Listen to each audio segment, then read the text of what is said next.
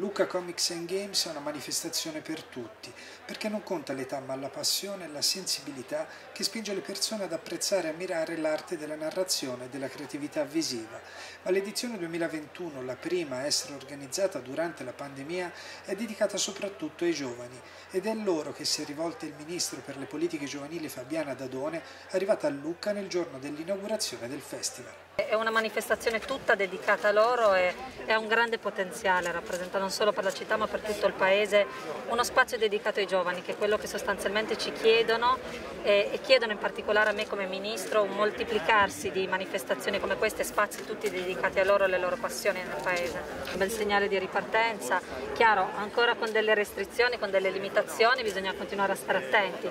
però penso che sia davvero un bel segnale di ripartenza perché si ha la possibilità di vederla fisicamente sicuramente non come l'anno scorso che ancora era da remoto, quindi con un impatto completamente differente, però questa è una buona occasione anche perché quest'anno siamo riusciti a, a connetterla con un'altra delle, delle, deleghe che, che ho, quella degli anniversari nazionali, abbiamo un padiglione dedicato eh, proprio ai 100 anni del Milite Ignoto e all'interno, insieme proprio eh, ai ragazzi che ci hanno offerto delle grafiche,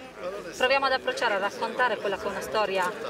di attualità dal punto di vista della ripartenza della rinascita del paese ad altri ragazzi. Quello di Lucca è il Festival dei fumetti, certo, ma anche dei giochi, ed è proprio collegandosi a questo tema che il ministro Fabiana Dadone ha rilanciato la sua proposta, portare i videogiochi a scuola e utilizzare la gamification come strumento educativo e didattico. Dal mio punto di vista è importante riuscire eh, ad insegnare anche in maniera differente, se riusciamo a far apprendere delle, anche delle competenze differenti, penso alle, alle, soft skills, sappiamo che nel mondo del lavoro le ricercano, poi la scuola poco ancora le insegna, la gamification su questo può aiutare moltissimo, ma può aiutare ad apprendere anche banalmente la matematica, la scienza, è un modo diverso per imparare, chiaramente non totalizzare tutto sulla gamification, ma può essere un modo per avvicinarci ai ragazzi.